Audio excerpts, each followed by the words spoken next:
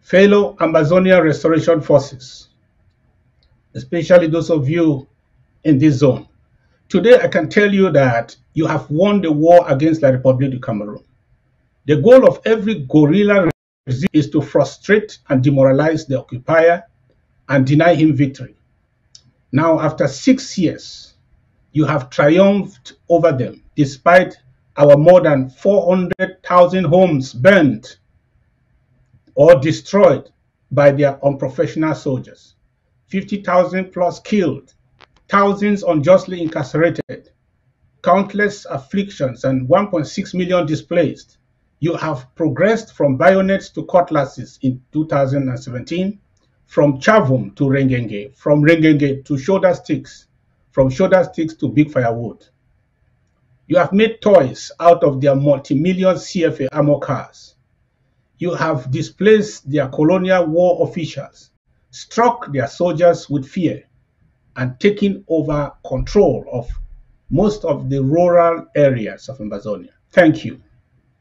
Today, La République du Cameroon can no longer meander freely in our territory, rape our women, steal from us, terrorize our parents, abduct our children, and conduct their genocide agenda with gross impunity. Never again.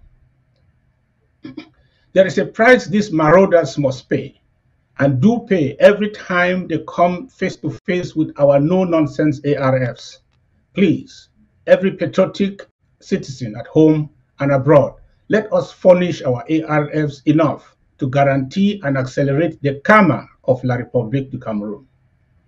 Unyamwe, ne, baraba, batata na Bahia, Omaneko, Amwe Osanga.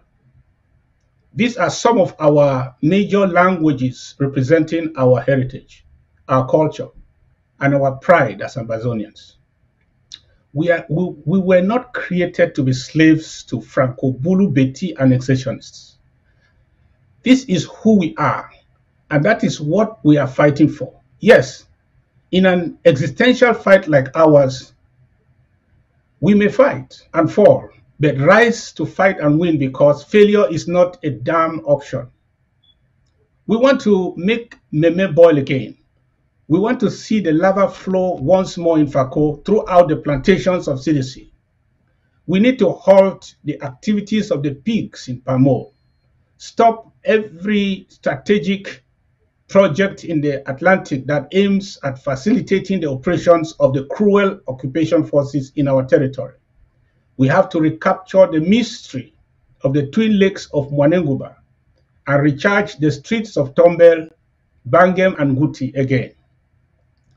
This year, we must try to get back to the place where we were in 2021 before we were rudely interrupted by French Cameroon infiltrators within our ranks, coup plotters, greedy spoilers, and CPDM genocide facilitators.